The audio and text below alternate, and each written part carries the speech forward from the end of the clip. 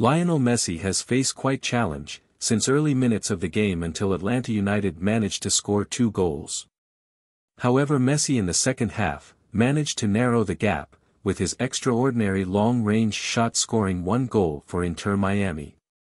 Unfortunately Atlanta United scores their third goal shortly, after Messi scoring brilliant goal, making the score 3-1 by the 80th minute putting Inter Miami in position, where they have to put extra effort to narrow down the gap.